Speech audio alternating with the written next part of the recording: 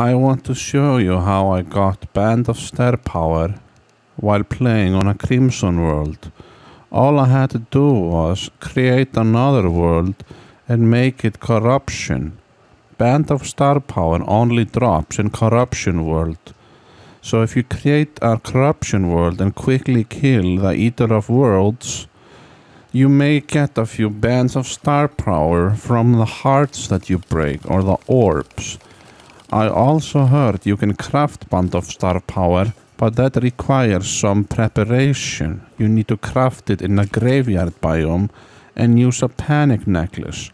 But what you can do if you have Crimson World as your main world, you can make a secondary world, Corruption, and go collect it there. And then go home.